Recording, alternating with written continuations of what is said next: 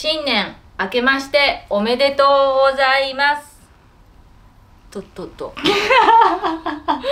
今年もよろしくお願いします。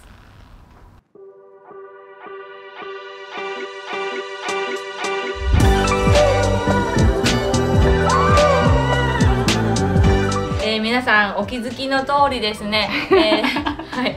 あのー最もあの日本で大切にされているクリエイティブのあのチームがですね、えー本日をうちにやってきてくださいまして、えーあのーアイデアを皆さん出していただいてこちら、えードラゴンボール」をテーマに渚ちゃんがいろいろとあのー提案してくださいましてですねあのやったんですけれどもいかがでしょうか？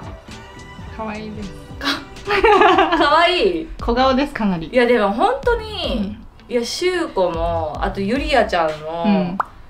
でなぎちゃんも、うん。私割ともっとなんか適当にうん。適当になイメージしてたんですよ、はい。そしたらガチ中のガチで マジで仕上がりにびっくりしてる。あとゆりやちゃんとかもさここにボールね、はいドラゴンボール。用意してくださって、はい。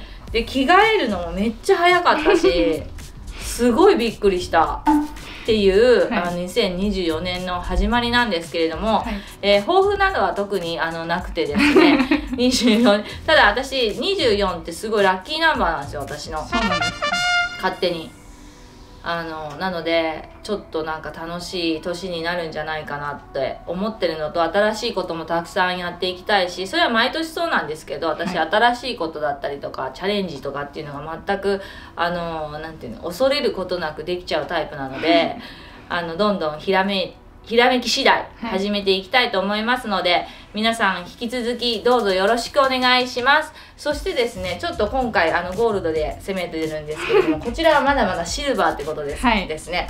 去年の何月ぐらい？あれは。夏でしたっけ？福岡でやりましたよね。